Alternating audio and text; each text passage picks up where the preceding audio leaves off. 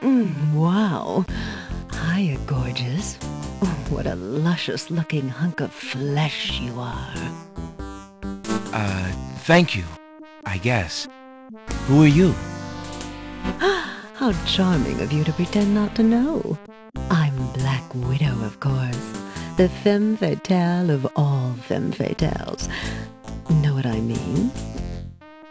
You know, I was just thinking it was time I found my 50th, uh, another husband. It would be quite a horror, uh, I mean, an honor to have me as a bride. Mhm, Just look at my beautiful weaving. It's so light, so delicate. You'll never want to leave my little nest. It is a lovely web, but my heart is elsewhere, I'm afraid. Oh, drat! Uh, I mean, the loss is yours. I'm sure you'll change your mind once you consider the advantages. Hey, don't touch that thread!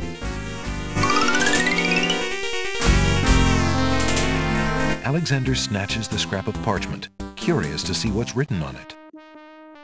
The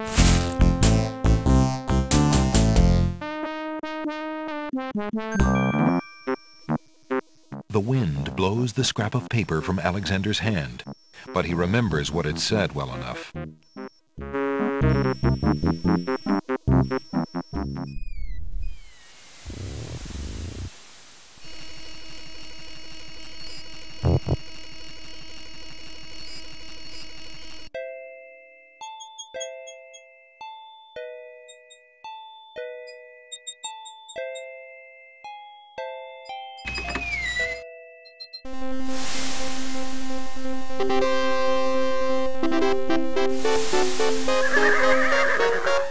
Checkmate! Only chess pieces allowed in chessboard land.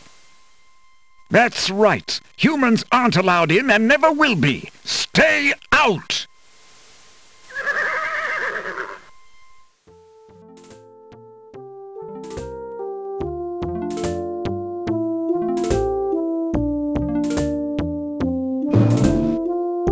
Must insist, Your Highness. I shall send the lump of coal to the Vizier and the Princess as a present for their wedding, and that's the end of it. And I suppose you'll leave me with only this stupid spoiled egg to send, Your Highness. I want to impress the new king and queen of the realm as much as you do. As queen of this island, I have every right to that lump of coal. Who isn't queen of this isle? The lump of coal is in my possession. Therefore, I shall do as I please with it. Besides, there's nothing wrong with that spoiled egg. The egg, though delightfully spoiled, is not nearly so valuable as the lump of coal, and you know it. Your Highness always got to carry the singing stone. It's not fair that you get the coal, too. That doesn't count. The singing stone was stolen by that horrid beast. I should get to keep the coal just because my stone was stolen.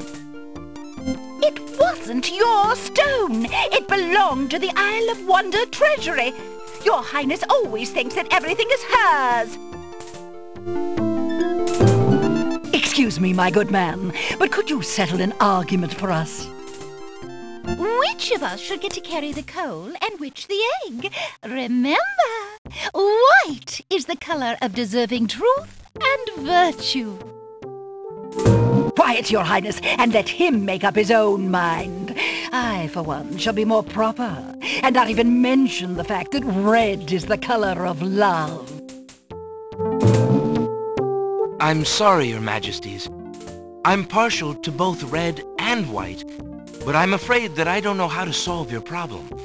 One of you will just have to be gracious and allow the other the lump of coal. What a ridiculously stupid idea. Quite ludicrous. He was a lot of help, wasn't he? Oh, yes. Obviously a man of high intelligence.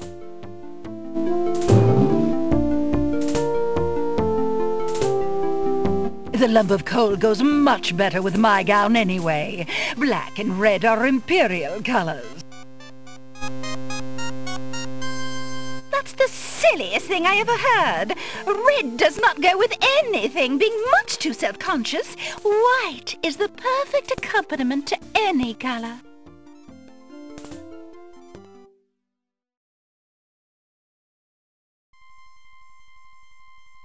Alexander picks up the Red Queen's scarf.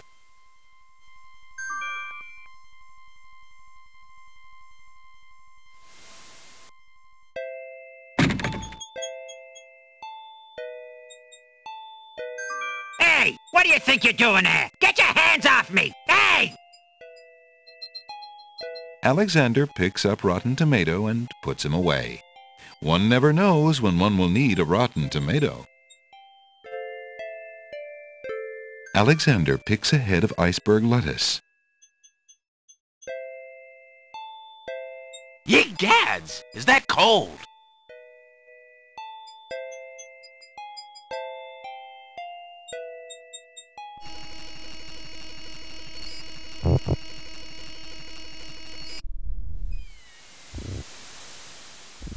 Alexander pulls out his magic map.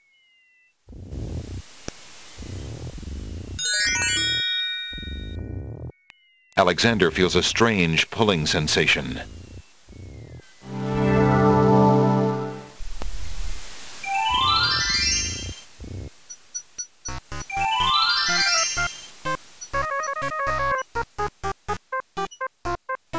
Hello, friend. Aren't you an odd-looking little fellow? I'm not odd-looking, you are! Oh, I'm sorry. I, I didn't realize you could speak. Speak not. Funny is, speech I am and nothing but.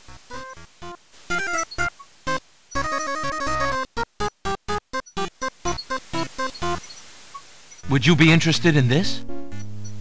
That I like not. Take it away, do.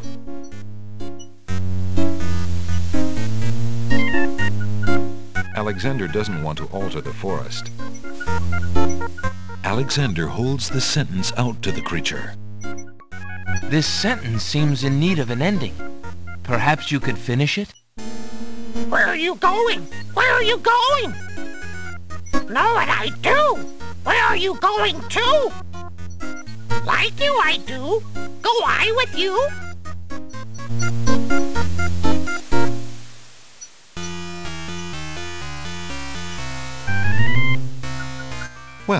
That was certainly interesting.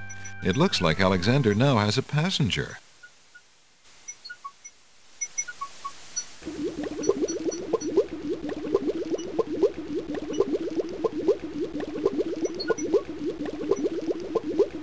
Hoping to cool down the boiling pond, Alexander throws in a head of iceberg lettuce.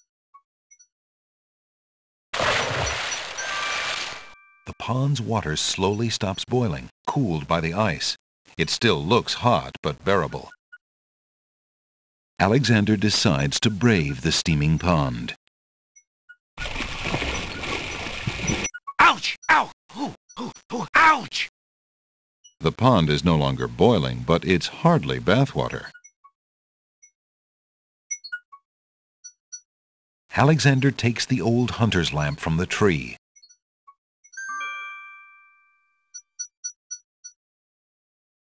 As Alexander continues down the path, he gets the strange feeling that he's being watched. Come on over here and see what I'm doing with these flowers. Never mind that stone fella on top of the gate. He won't hurt you any. He's just there to scare you.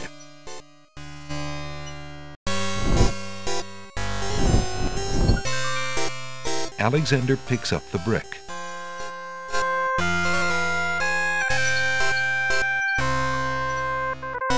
I'm Alexander of Daventry.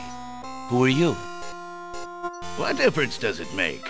Just come on over here. I'll tell you my life history if you still want to hear it.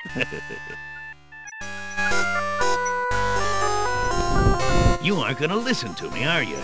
Well, we'll just see about that. That's odd. The gardener just disappeared.